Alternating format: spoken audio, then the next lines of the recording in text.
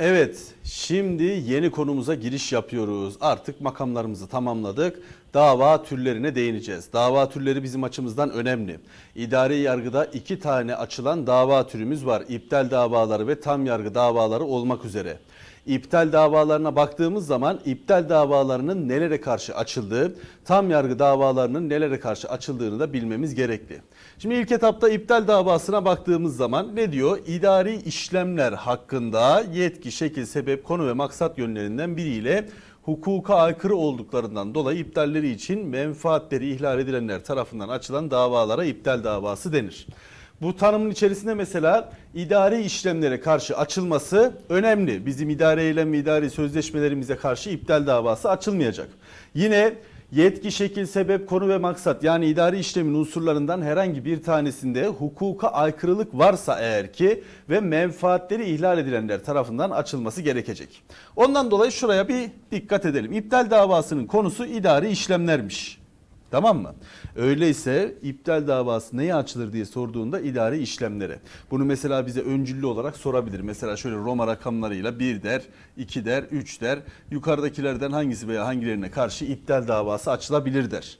Orada işte idari işlem, idari eylem, idari sözleşme diye yazabilir. Yalnız bir diye şıklarda işaretlememiz gerekecek. Amacı hukuk aykırılıkların giderilmesidir. Alınmış olan bir idari işlemle bir idari karar varsa bu karara karşı hukuk aykırılığın giderilmesi amacıyla iptal davası açılabilecektir. Kimler iptal davası açabilir? Menfaat ihlali olanlar açabilecekmiş. Dava güncel, meşru ve kişisel olması gerekli. Burada baktığımız zaman mesela diyelim ki işte bir dönem e, Türkiye'de Kaz Dağları'nın eteklerinde böyle siyanürle altın aranmasıyla ilgili bir konu tartışılıyordu. İşte o siyanürle altın aranacağı zaman baktığımız zaman oradaki siyanürden kimler etkilenecekti? Kaz Dağları ve çevresinde yaşayan kişiler işte o e, Edremit dediğimiz, Burhaniye dediğimiz, o Altınoluk dediğimiz Körfez e, kısımları, o Çanakkale işte Behramkale vesaire o kısımda kişiler buradaki e, siyanürden etkilenecekti. İşte böyle bir durumda bu alınmış olan karara karşı iptal davasını kimler açabilecekmiş? Menfaat ihlali olanlar açacakmış. Yani ben şu anda Ankara'da yaşayan bir vatandaş olarak tutup oradaki bu altın arama işleminin iptali istemiyle ne yapamayacakmışım? Dava açamayacakmışım. Kimler açabilecekmiş? Sadece orada bulunan kişiler, orada yaşayan, oradaki havadan, oksijenden etkilenebilecek olan kişiler dava açacakmış işte. Tamam mı? Menfaat ihlali olanlar güncel, meşru ve kişisel olmalıdırdan kastı bu. Niteliği objektif nitelikli davalardır. Sonuçlarından üçüncü kişiler yararlanır. Burada neden bahsediyor objektif nitelikli ve üçüncü kişiler yararlanmasından? Mesela diyelim ki orada ben tuttum bu idari işlemin iptali istemiyle dava açtım. Bu dava açıldıktan sonrasında diyelim ki o karar iptal edildi. Siyanürlü altın aranması ile ilgili karar. E bunlardan kim etkilenecek? Bütün o çevredeki yaşayan kişiler ne yapabilecek? Etkilenebilecek. Veya işte ÖSYM bir tane e, sınav yaptı. Sınavda dedi ki işte e, 2577 sayılı kanuna göre e, vergi mahkemelerinde dava açma süresi ne kadardır dedi. Hepiniz güzel bir şekilde 30 gündür diye işaretlemenizi yaptınız. Ama yapmış olduğu daha sonrasında işte akşam diyelim ki e, sonuçları veriyor e, şeylerin e, soruların kitapçıklarını da yayınlıyor. Oradaki yayınlamaya baktığınız zaman siz de işte e, cevabın 60 gün olarak verilmiş olduğunu gördünüz. İşte böyle bir durumda bu yapılmış olan işleme karşı iptal davasını açtığınız zaman bunun sonuçlarından kimler yararlanıyor? bütün sınava girmiş olan adaylar yararlanıyor. Mesela diyelim ki sen orada davayı açtın. O sen ne kadar kurnazmışsın, gözü açıkmışsın. Tamam sadece senin sorunu iptal edelim. Diğerleri ayakta uyuyor. Boş ver. Onlarınki yanlış olarak devam etsin diyorlar mı? Demiyorlar. Bütün herkese karşı etkili olmasından kastı, objektif nitelikli olmasından kastı bu şekilde karşımıza çıkacak. Yine hukuki sınırlarına baktığımız zaman hukuku uygunluk denetimiyle sınırlıdır. Yerindelik denetimi yapamaz. Bunu zaten ilk dersimizde idare yargının sınırlarında bahsetmiştik. O yürütmenin durduğu şey hmm, yerindelik denetimiyle ilgili kısımlarımızda karşı, karşımıza çıkıyordu. Yine hukuku uygunluk denetimiyle e, ilgili karşımıza çıkıyordu. İdari işlemle eylem niteliğinde karar alamaz. Yani idarenin yapmış olduğu bir işleme karşı iptal davası açarsın. Mahkeme bunu iptal eder. Onun yerine şöyle şöyle bir karar alınması lazım lazım. Kırıkkale Belediyesi burada tutmuş şöyle bir idari karar almış. Bu karar hukuka aykırı. Çekilin ben Tatar Ramazan ben bu oyunu bozarım deyip kendisi orada Kırıkkale Belediyesi'nin adına yeni bir karar alamayacak işte. Tamam orada sadece alınmış olan kararı iptal edecek diyeceğiz. İdarenin takdir yetkisini kaldıracak nitelikte işlem yapamazdı, karar alınamazdı. Yine o idari yargının sınırlarında bahsetmiştik. Hangi idari işlemlere karşı dava açılabilir? İcrai olan kesin nitelikli işlemlere karşı dava açılacakmış. Buradaki icrai olmasına dikkat edin. Onu da mesela e, dilekçeler üzerine yapılacak olan incelemede de doğrudan doğruya icrailik karşımıza çıkacak. İşlem eğer ki icrai değilse mahkeme dava red kararı verecekmiş. İdarenin icrai olmayan işlemlerine baktığımız zaman mesela hazırlık işlemleri, hazırlık işlemleri, tutanaklar, tutanaklar, görüşler, tutanaklar, görüşler, teklifler, teklifler, bilgi istemeler, değerlendirmeler, değerlendirmeler. Mesela MGK kararları, MGK kararları. İşte Danıştay'ın imtiyaz sözleşmesi ile ilgili verdiği kararlar, Danıştay'ın imtiyaz şartlaşma ve sözleşmeleri ile ilgili görüş bildirmesi gibi durumlarımız bizim karşımıza ne olarak çıkacakmış? İdarenin icrai olmayan, kesin olmayan işlemleri, kesin nitelikli olmayan işlemleri olarak çıkacak. Demek ki ben herhangi bir konuda bir hazırlık işlemine karşı ne yapamayacakmışım? İptal davası açamayacakmışım. İşte tutanaklara, görüşlere, tekliflere, bilgi istemelere, değerlendirmelere karşı iptal davası ne yapılmayacak? Açılmayacaktır diyeceğiz. Burası iptal davasının hangi durumlarda açılacağı için önemli. Hangi durumda açılıyormuş? İcrai olan kesin nitelikli artık karar alınmış. Böyle bir durumda iptal davası açılabilecek. İdari yargıda göreve ilişkin koşullarımız, yetki ilişkin koşullarımız, davacıya, davalıya ve sürelere ilişkin koşullarımız var. Burada göreve ilişkin koşullarla yetki ilişkin koşulları bilmemiz gerekli. Tamam mı? Görev ve yetki bizim açımızdan önemlidir. Doğrudan burada örnek olay soruları da gelebilir. Göreve ilişkin koşullarımızdaki temel mesele ne? Hangi mahkeme hangi davaya bakacaktır? Temel sorun bu. Buradaki sorunu çözmek içinse konu bakımından yetkili mahkemeyi bulmak gerekir. Burada karşımıza temel olasılıklar çıkacak. Mesela işte birinci olasılığımızda konu idari yargının içerisindeki farklı mercilere açılacak olursa, bir diğerinde mesela idari yargıda açılması gereken adli yargıda açılmışsa veya adli yargıda açılması gereken idari yargıda açılmışsa böyle bir durumda ne karşımıza çıkacak diyeceğiz. Dava idari yargı içinde Danıştay'da açılması gerekirken idare mahkemesinde açılmışsa yani sonuçta yine idari yargının görev alanı içerisinde bir kayma olmuş. Mesela işte yerel yönetim organının görevden alınması ile ilgili bir dava var. Böyle bir davayı tutup da idare mahkemesinde açacak olursak bunun normalde nerede yapılması lazımdı? Danıştay'da yapılması lazımdı. Tutup da idare mahkemesinde yapacak olursak bu durumda idare mahkemesi ne yapacakmış? İdare yargı içinde yanlış yerde dava açılacak olursa idare mahkemesi dosyayı görevli idari yargı merciine gönderir, tevdi eder. Yani diyelim ki işte Kırıkkale Belediye Başkanı'nın görevden alınması ile ilgili olarak Kırıkkale İdare Mahkemesi'ne dava açıldı. Kırıkkale İdare Mahkemesi dosyayı ne yapacakmış? Danıştay'a tevdi edecekmiş. Tamam idare yargı içinde yanlış yere dava açılırsa ilk dava açılmış olan mahkeme dosyayı görevli yetki yargı yetkisine sahip olan görevli yargı yerine ne yapacak? Tevdi edecektir diyeceğiz. İkinci olasılığa baktığımız zaman idari yargıda açılması gereken davanın diğer yargı kollarında açılması durumunda ne olur? İdari yargıda açılacak olan davanın adli yargı kolunda. Mesela kamulaştırma kararına Asli Hukuk Mahkemesi tarafından iptali için dava açılırsa hangi mahkeme karar verir? Mesela Asli Hukuk Mahkemelerine baktığımız zaman kamulaştırma ile ilgili ne yapıyordu? Bedel tespiti durumlarını e, ortaya koyuyordu ve idare adına tesciliyle ilgileniyordu. Şimdi böyle bir durumda kişi malın sahibi olan malik de aa böyle bir durumda işte yetkili idare Asli Hukuk Mahkemesi'ne gittiyse benim de Asli Hukuk Mahkemesi'ne gitmem gerekli diyerek Asli Hukuk Mahkemesi'ne gidecek olursa Asliye Hukuk Mahkemesi böyle bir durumda ne karar verecektir? Doğrudan doğruya dosya geldiğinde görevsizlik kararı verecek ve 30 günlük süre içerisinde ilgili kişi davayı idare mahkemesinde açması gerekecek diyeceğiz. İptale karşı idare mahkemesinde dava açılacağından dolayı Asya Hukuk Mahkemesi kendisi için açılan davaya görevsizlik kararı verir. Kararın kesinleşmesinden itibaren ilgilinin idare mahkemesinde dava açması için 30 günlük ek süre verilir ve ilgili davayı idare mahkemesinde açar. Burada baktığımız zaman hani normal şartlarımızda ne vardı? İdare mahkemesinde davanın açılması için 60 günlük süremiz vardı. Mesela benim e, tutup bu 60 günlük sürenin içerisinde atıyorum 5. E, günde gittim Asya Hukuk Mahkemesi'ne davayı açtım. Asya Hukuk Mahkemesi de diyelim ki bundan 5 gün sonrasında e, görevsizlik kararı verdi. Karar da kesinleşti. Böyle bir durumda bana ek olarak bu 60 güne ek olarak 30 günlük süre verilmeyecek. Zaten şimdi 10 günü zaten harcadık. 5 gün sonrasında Asli Hukuk'a gittim. Asli Hukuk'ta ondan 5 gün sonrasında görevsizlik kararını verdi ve kesinleşti. E benim şimdi 60 günlük süremden 10 günüm gitti. Geriye kaç gün var? 50 gün. Buradaki 30 günlük süremiz o 50 günün içerisinde eriyip gidecek zaten. Ama diyelim ki benim dava açma durumum işte e, karar verildi şeyle ilgili. Ben de iptal davasını 60 günlük süre içerisinde açacaktım. 35. gün gittim davayı açmak için Asya Hukuk Mahkemesi'ne başvurdum.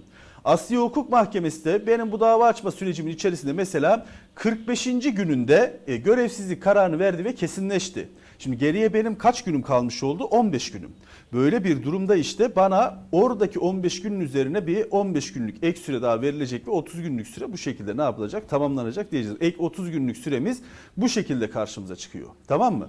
Yani belli bir süre aralığı varsa bu 60 günlük sürenin içerisindeki belli bir süre aralığı varsa bu 30 günlük süre o 60 günlük sürenin içerisinde eriyip gidecekse eriyip gidiyor. Eriyip gitmeyecekse daha kısa bir zaman aralığı varsa bu zaman aralığına ek olarak 30 günlük süre verilecek. Tamam mı? Ek olarak o 30 günlük süre zaman aralığında mesela işte diyelim ki 10 gün kaldı. Buna ek olarak 30 günlük süre ne yapılacak? Verilecektir diyeceğiz. Üçüncü olasılığa baktığımız zaman adli yargıda açılması gereken bir dava idari yargıda açılmışsa fiili yol bu e, kamulaştırmasız el atma dediğimiz durumlarda İşleme karşı B, B kişisi idare mahkemesinde söz konusu işlemin iptali için dava açmıştır. Böyle bir durumda mahkeme ilk incelemede hangi kararı verecek? Dava red kararını verir ve dosyadan elini çeker. Yani doğrudan doğruya benim adli yargıya başvurmam gereken bir yerde idari yargıya başvurmuşsam idari yargı dosyayı ne yapacakmış? Reddedecekmiş ve dosyadan elini çekecekmiş. Buradaki durumlara dikkat edin. Örnek olay sorusu olarak gelebilir dava idare yargı içerisinde yanlış yerlere açılmışsa ilk açılmış olan davanın mahkemesi görevli yargı yerine tevdi edecek. Dava idari yargıda açılması gerekirken adli yargıda açılmışsa adli yargı görevsizlik kararı verip dosyadan elini çekecektir. Kararın kesinleşmesinden itibaren de ek olarak 30 günlük süre daha verilecektir. Dava adli yargıda açılması gerekirken idari yargıda açılmışsa idare veya vergi mahkemesi dava red kararı verecek ve dosyadan elini çekecektir diyeceğiz. Yetkiye baktığımız zaman açılacak olan bir davada uyuşmazlığın olduğu yere göre hangi yerde bulunan mahkeme buradaki davaya bakmakla yetkilidir? Hangi yerde bulunan mahkeme? Yetki dediğimiz aslında yer yönüyle ilgileniyor. Genel yetki kuralı ve özel yetki kuralı olmak üzere iki ayrı noktası var. Genel yetki kuralında idari işlemi tesis eden mercinin bulunduğu yer idare mahkemesidir. Mesela baktığımız zaman işte... E, Kırıkkale İl Özel İdaresi diyelim ki bir konuyla ilgili bir idari karar verdi. Böyle bir durumda bu konuya karşı bir iptal davası açılması gerekliyse bu nerede olacak? Karar Kırıkkale İl Özel İdaresi'nde verildiğinden dolayı Kırıkkale'nin bağlı olduğu idare mahkemesinde dava açılacak. İşte yer yönünden yetkili dediğimiz yer burası. Süreç neymiş? Doğrudan doğruya idari işlemi tesis eden mercinin bulunduğu yer idare mahkemesiymiş. Diyelim ki işte atıyorum Yozgat Belediyesi tarafından bir karar alındı. Bununla ilgili dava nerede açılacak? Yozgat İdare Mahkemesi'nde açılacak. Bu genel yetki kuralıdır. Yine kamu görevlerinin geçici görevlendirmeleri konusunda da genel yetki kuralı geçerlidir. Mesela baktığımız zaman ben diyelim ki işte eee Aksaray'da polis memuru olarak görev yapıyorum. Geçici görevlendirmeyle Niğde'ye gittim. Bu arada da işte benimle ilgili bir usulsüz bir şekilde bu geçici görevlendirmenin olduğunu anladım. Böyle bir durumda davayı açacağım yer neresi olacakmış? Geçici görevlendirme olduğundan dolayı Aksaray'a bağlı olan bir polis memuru olduğum için Aksaray ilinin idare mahkemesinde açacakmışız. Tamam mı? Bu atanma ve naklen atanma durumları özel yetki kuralı olarak birazdan değişecek geçici görevlendirmelere dikkat edin. Burada şıklarda size eğer ki böyle bir örnek olayın içerisinde, sorunun içerisinde geçici görevlendirmeden bahsedecek olursa böyle bir durumda bu kişiyle ilgili idari işlem tesis eden merci neresi ise orası doğrudan doğruya yetkili olacaktır diyeceğiz. Özel yetki kuralına baktığımız zaman kamu görevlerinden bahsedecek burada. Yerel yönetim organlarından bahsedecek, e, hakimlerden, savcılardan bahsedecek, taşınırlardan ve taşınmazlardan bahsedebilecek. Burada baktığımız zaman kamu görevlerinin atanması veya naklen atanma durumlarında eski veya yeni görev yeri idare mahkemesi. Burada diyelim ki işte ben bir yerde infaz koruma memuru olarak çalışıyorum. Mesela diyelim ki işte atıyorum e, Kocaeli'de infaz koruma memuru olarak çalışıyorum. Benim de tayinim atamam İstanbul'a çıkmış. E, Marmara cezaevine çıkmış. Tam işte e, oralara gidip gel, geliyorum ev bakıyoruz bir şeyler yapıyoruz işte lojman var mı yok mu vesaire derken işte e, atamamız oldu oraya geçtik. O arada bir baktım benimle ilgili İAŞ e, bedellerimin yol bedellerimin vesaire yatırılmadığını gördüm. Bununla ilgili davayı nerelerde açabilirmişim? Bana seçimlik yetki vermiş bak atanma ve naklen atanma durumlarında. ister Kocaeli İdare Mahkemesi'nde açarsın, ister İstanbul İdare Mahkemesi'nde açarsın diyor. Tamam mı? Eski veya yeni görev yeri İdare Mahkemesi'nden kastımız budur işte. Tamam mı? Kamu görevlisinin meslekten men resen emekli yani görevine son verilmesi durumlarında son görev yaptığı yer idare mahkemesinde görev e, şey açılacak, dava açılacak. Mesela işte diyelim ki ben bir yerde zabıt katibi, e, Kayseri'de zabıt katibi olarak çalışıyorum. Ee, burada ben işte emekli edildim yaş e, sınırından dolayı ama normal şartlarda işte yaşımın dolmasına da daha diyelim ki bir yıllık bir süre var. Ee, orada soruda size diyecek ki işte e, zabıt katibi olarak çalışan işte Kayseri'de çalışan e, zabıt katibi İsmail e, yaş sınırından dolayı emekliye ayrılmıştır. E, kendisi usulsüz olarak emekliye ayrıldığını farkına varmıştır. İsmail'in işte doğum yeri atıyorum Kırıkkale'dir. Memleketi Yozgat'tır. İşte yaşadığı yer Ankara'dır. E, şu anda da tatil amacıyla e, Muğla'da bulunmaktadır diye farklı farklı iller verecek. Bundan dolayı davanın açılması gereken yer neresidir diye soracak. Benim böyle bir soruda cevap vereceğim yer neresi olacakmış? Son görev yaptığım yer idare mahkemesi yani Kayseri İdare Mahkemesi olacak diyeceğiz. Tamam mı? Buraları tekrar tekrar dinleyin.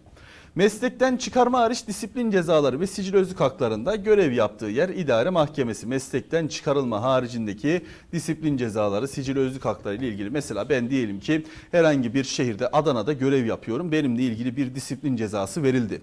Orada baktığımız zaman mesela uyarma, kınama, aylıktan kesmeyi, kademelerlemesinin durdurulmasında belli başlı aşamalarımız oluyor. İşte bunlara karşı itiraz oluyor. İşte disiplin amiri tarafından verilenler karşımıza çıkıyor. İşte yüksek disiplin kurulu tarafından verilenler bunlara itiraz, itirazın sonuçlandırılması vesaire. En son dava açma sürecimiz kalıyor. İşte bu dava açma sürecimize baktığımız zaman ben nerede dava açabilecekmişim? Adana'da görevli olup da haksız bir şekilde disiplin cezasına maruz kaldığımı düşünecek olursam Adana İdare Mahkemesi'nde dava açabilecek misiniz işte. Tamam mı? Yerel yönetim organlarının geçici görevden uzaklaştırılmasında görev yaptığı yer idare mahkemesi. Mesela diyelim ki ben işte e, Ordu Ünye Belediye Başkanı olarak görev yapıyorum. Ee, geçici görevden uzaklaştırmamla ilgili bir dava açmam gerekecek olursa bu ordunun bağlı olduğu idare mahkemesinde olacakmış. Ordu Ünye Belediye Başkanı olarak görevden alınma durumum söz konusu olacak olursa bu nerede olacak? Danıştay'da. Bu ikisinin arasındaki farka çok dikkat edin. Tamam mı? Bir görevden uzaklaştırılma ayrıdır. Görevden alınması ayrıdır. Görevden geçici olarak uzaklaştırılması durumunda yerel yönetim organının görev yaptığı yer idare mahkemesi olarak ne yapacak? Karşımıza çıkacak diyeceğiz. Hakimlerin sosyal hak müfettişal kağıtlarına ilişkin açacağı davalarda yargı çevrelerinin bulunduğu en yakın bölge idare mahkemesine başvurulur. Mesela diyelim ki ben işte Erzurum'da e, Asliye Ceza Mahkemesi'nde görevli olan bir hakimim. Orada benimle ilgili e, müfettişal kağıtları ile ilgili bir karar verildi, rapor sunuldu. Ben de buna karşı dava açmak istiyorum. Diyelim ki işte Erzurum'da görev yapıyorken Erzurum'un da bağlı olduğu yer diyelim Erzurum Bölge İdare Mahkemesi. Bu Bölge İdare Mahkemesi'ne, yargı çevresine en yakın Bölge İdare Mahkemesi atıyorum işte orada e, Sivas Bölge İdare Mahkemesi olsun. Sivas Bölge İdare Mahkemesi'ne ne yapacağız? Davayı açacağız diyeceğiz. Tamam buraya dikkat edin. Taşınır ve taşınmazlarda da yetki kısaca şudur. Taşınır veya taşınmazın bulunduğu yer idare mahkemesidir. Mesela diyelim ki ben e, Afyon'daki bulunan bir taşınmazımla ilgili kamulaştırmanın iptali istemiyle dava açacağım. Bu davayı nereye açacağım? Afyon İdare Mahkemesi'ne açacağız. Tamam Kısaca taşınır veya taşınmazın bulunduğu yer idare mahkemesi olarak karşımıza özel yetki çıkacak diyeceğiz. Sürelerin başlaması. Süreler tebliğ, yayın veya ilan tarihini izleyen günden itibaren işlemeye başlar. Örneğin ayın 3'ünde tebliğ yapıldıysa ayın 4'ünde dava açma süresi ne yapacaktır? Başlayacaktır diyeceğiz. Tamam mı? Buradaki sürelerin başlaması da bizim açımızdan önemli olan durumlardan, noktalardan bir tanesi. Mesela şeye baktığımız zaman işte... Ee, anayasa hukuku kısmına baktığımız zaman anayasada her zaman ne diyoruz? İşte e, yapılmış olan bu şeylerle ilgili davaların açılmasıyla ilgili hep resmi gazetede yayımından itibaren diyoruz. Bugün yayımlandıysa resmi gazetede bugün dava açmamızın ilk günü oluyor.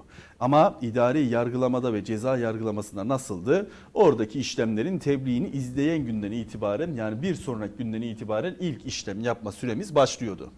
Tatiller sürelere dahil son gün tatile denk gelirse ilk iş günü mesai bitimine kadar başvuru yapılacaktır. Mesela benim diyelim ki idare mahkemesine dava açmam lazım 60 günlük süre var. 60. günüm cumartesi gününe denk geliyorsa eğer ki böyle bir durumda pazartesi diyelim mesai var herhangi bir tatil yok. Pazartesi akşama kadar benim yine dava açma sürecim ne yapabilecekmiş? Ortaya çıkabilecekmiş. Ara vermeye denk gelirse 20 Temmuz 31 Ağustos bu ara vermeden kastımız adli tatil. Adli tatile denk gelen sürelerde son dava açma günü 7 Eylül. Yani buradan benim anlamam gereken adli tatile denk gelen sürelerde dava açma süresi ne kadar uzayacakmış? 7 gün uzayacakmış. 7 gün uzar. Bunu unutmayın. İdari yargılama da ara vermeye yani adli tatile denk gelen bir 60 günlük süremiz olursa bu 7 gün süreyle ne yapacak? Uzayacak ve 7 güne. Ceza yargılamasında bu süre 3 gündür. Bunu birbirine karıştırmayın. Tamam orada 3 Eylül'e rastlayacak. Burada 7 gün olduğundan dolayı 7 Eylül'e ne yapacak? Rastlayarak karşımıza çıkacak diyeceğiz. Bu çok önemli burada. 2577 e, sayılı idare yargılama kanununa göre ara vermeye denk gelen süreler ne kadar uzamış sayılır? 3 gün, 5 gün, 7 gün, 10 gün, 15 gün. 7 gün uzamış sayılacaktır diyeceğiz. İlan yoluyla yapılan tebliğler de ilanı izleyen günden itibaren başlar. Karar alma günden değil bakın hep izleyen günden itibaren başladığına dikkat edin. Zımni red, reddi takip eden günden başlar. 30 gün içerisinde idareden cevap gelmezse reddetmiş sayılır. Bunu birazdan göreceğiz. İdari makamların sükutu dediğimiz idari yargılama kanunun, kanununun 10. maddesinde karşımıza çıkıyor. Tamam mı? Zımni red onu birazdan vereceğiz. Süre hesaplamaları ile ilgili bir not var. Aralık ve Ocak ve Temmuz ve Ağustos'u takip eden durumlara geliyorsa 60 günlük süre hesaplanır. 2 gün geri çekilir ve denk gelmiyorsa 1 gün geri çekilir. Ne demek istiyor? Mesela benim bir konuyla ilgili dava açmamın ilk tarihi 4 Aralık. Mesela 3'ünde tebliğ edildi. 4 Aralık'ta dava açacağım. Böyle bir durumda 4 Aralık'tan itibaren hemen 2 aylık süreyi atlayacağız. 4 Aralık'tan 4 Ocağı 1 ay 4 Ocak'tan 4 Şubat'a da ikinci ayı gitmiş olacağız. Evet 2 ay gittik ama toplamda kaç gün gittik? Aralık ayı 31, Ocak ayı da 31 çektiğinden dolayı toplamda 62 gün gitmiş olduk. Böyle bir durumda 4 Şubat'tan 2 gün geriye düşecek olursam ben tam 60 günlük süreyi bulacağım ve 2 Şubat'a denk gelecek. Aynısı Temmuz için de geçerli. Mesela diyelim ki 10 Temmuz'a denk geldi. Benim tam 9 Temmuz'da tebliğ edildi. 10 Temmuz dava açmamın ilk günü. Böyle bir durumda hemen 2 ay atlayacağım. 10 Temmuz'dan 10 Ağustos, 10 Ağustos'tan 10 Eylül. 10 Eylül tarihine baktığımız zaman bizim açımızdan ne olacak? 2 ay gitmiş olacağız ama toplamda 62 gün gitmiş olacağız. Böyle bir durumda 2 gün geriye düşeceğiz ve bizim 60 günlük süremiz hangi tarihe denk gelmiş olacak? 8 Eylül tarihine denk gelmiş olacak diyeceğiz işte. Tamam mı? Buraya dikkat edin. Burada doğrudan doğruya e, Ağustos ve Temmuz'a denk gelirse arka arkaya Aralık ve Ocağa denk gelirse. Hocam Şubat'a denk gelirse ne olur? Orası biraz karışık. Hani Şubat 28 mi çekiyor 29 mu çekiyor vesaire bunu vermesi lazım. Ama onun haricinde mesela işte diyelim ki bizim e, ilk da, dava açacağımız tarihimiz işte atıyorum e, 16 Nisan'a denk geldi. Böyle bir durumda ne yapacağız? 2 ay gideceğiz. 16 Nisan'dan 16 Mayıs. 16 Mayıs'tan 16 Haziran. 2 ay gittik ama toplamda kaç gün gittik? Mart ayı e, şey Nisan ayı 30, Mayıs ayı 31 çektiğinden dolayı toplamda 61 gün gittik. Bir gün geriye düşecek olursak 15 Haziran bizim 60. günümüz olacak. Dava açmamızın son günü. Tamam Süre hesaplaması bu şekilde de aklınızda kalsın. Otomatik olarak 2 ay gidilir. Aralık ve Ocağa denk geliyor ya da Temmuz ve Ağustos'u takip eden 2 ay arka arkaya geliyorsa 2 gün düşülür. Diğer durumlarda 1 gün düşülecek. İşte o 62 gün ve 60 günlük kısımlar olmasından dolayı. İdari makamların sessiz kalması durumunda ortaya çıkacak haller. İlgililer haklarında idari davaya konu olabilecek bir işlem veya eylemin yapılması için idari makamlara başvurabilirler.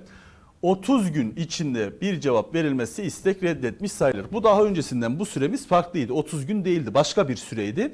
Ama 2021 tarihinden itibaren bunu 30'a çektiler. Tamam mı? Bu, bu bizim karşımıza zımni ret olarak gelecek bak bir cevap verilmesi istek reddetmiş sayılır. Ben herhangi bir kararın zımni kabul veya zımni ret olduğunu nereden bileceğim? Kanunun kendisinden bileceğim. Kanun bana söyleyecek. Burada da şuna dikkat edin. Bütün zımni kabuller ve zımni retler 30 günlük değildir. Bazılarında 60 günlük süremiz de vardır. Tamam mı? Orada işte kamulaştırma kanunu ile ilgili zımni retimiz var. İşte efendime söyleyeyim e, imar kanunu ile ilgili var. Mesela ceza yargılamasında uzlaştırma ile ilgili ne demiştik? Taraflar 3 gün içerisinde yanıt vermesi de reddetmiş sayılır demiştik. Bunlar birbirlerinden farklılık gösterebilir. İşte ondan dolayı kendi kanunda neyi veriyorsa onu bileceğiz. Bu idari yargılamanın burası 10. maddesi sessiz kalmasından kastı şöyle 10. madde diyelim. İdari makamların sükutu der. Kanunda da. Tamam mı? 30 gün içerisinde süre içinde idarece verilen cevap kesin değilse, muğlak bir ifade ise şu anda başvurunuz inceleme aşamasındadır vesaire muğlak bir ifade ise böyle bir durumda kişi ne yapabilir arkadaşlar? Daha sonuçlanmasını da bekleyebilir. E, red olarak algılayıp doğrudan doğruya gidip davada açabilir. İlgili bu cevabı isteminin reddi sayarak davada açabileceği gibi kesin cevabı da bekleyebilir. Dava açma süresi bu süre içerisinde işlemez. Bekleme süresi şu yukarıdaki bekleme süremiz başvuru tarihinden itibaren de 4 ay ne yapmayacak geçmeyecek. Bu 4 aylık sürede önemli. Yani bir muğlak cevap verildiği zaman bu muğlak cevabı da idare tamam işte e, ağzına bir parmak bal çaldık tamam istediğimiz kadar bekletebiliriz durumda yokmuş. 4 aylık süre daha orada o konuyla ilgili yapmış olduğu çalışmayla ilgili kesin cevabı vermesi lazım. Dava açılmazsa eğer ki bu bekleme süresi içinde veya davanın süreden reddi hallerinde 30 günlük sürenin bitmesinden sonra yetkili idari makamlarca cevap verilirse cevabın tebliğinden itibaren 60 gün içerisinde dava açabilirler. Tamam mı? Şu 30 günlük dediği kısım şuradaki 30 günlük demiş olduğu kısım. Ben herhangi bir konuyla ilgili mesela diyelim ki Kırıkkale Belediyesi bir yol yapım çalışması esnasında benim evimin duvarını yıktı. Ben de bununla ilgili idareye başvuruda bulundum belediyeye, e, Kırıkkale Belediyesi'ne. Kırıkkale Belediyesi de bana yaptığım başvurudan itibaren 30 günlük süre içerisinde hiçbir cevap vermedi. Böyle bir durumda ben ne yapacakmışım? Ha demek ki belediye benim yapmış olduğum bu tazminat başvurusuna yanıt vermedi. Bundan anlamam gereken reddetti benim başvurumu. İşte böyle bir durumda gidip dava aç dava açabilecekmişiz. Tamam mı? Davanın açılabilmesinden kastımız budur. Zımni red durumu söz konusu olursa. Zımni zaten sessiz kalarak irade beyan edilmesiydi. Örtülü olarak irade beyan edilmesiydi şeklinde karşımıza çıkabilecek. İptal davalarında davacı ve davalıya baktığımız zaman davacının dava açma ehliyeti bulunması gerekir hak ehliyeti, fiil ehliyeti o şeyden hatırlayın mesela medeni hukuklardan dava açma ehliyetinin bulunması gerekecek. Konuyla ilgili mesela baktığımız zaman diyelim ki benim e, babama ait olan bir arsayla ilgili bir dava varsa ben onun çocuğu olarak gidip de davayı açamayacağım. Direkt olarak kendisini ilgilendirdiğinden dolayı kendisi dava açacak. Dava konusu olayla ilgili davacının menfaat ihlalinin olması gerekir. Açılacak davanın temel özellikleri kişisel, güncel ve meşru olmalı vatandaş olmak ortaya çıkacak her konuyla ilgili dava açma hakkı vermez. Hani ben Ankara'da yaşayan bir vatandaş olarak e, Kaz Dağları'ndaki aranacak olan o altınla ilgili dava açamıyordum ya burada ondan bahsediyor. Ben Türkiye Cumhuriyeti vatandaşıyım buradaki olan her şey beni ilgilendirir diyemeyecekmişim işte. Bir yerde yaşamak durumlarında o bölgeye ilişkin faaliyetlerde dava açılabilir.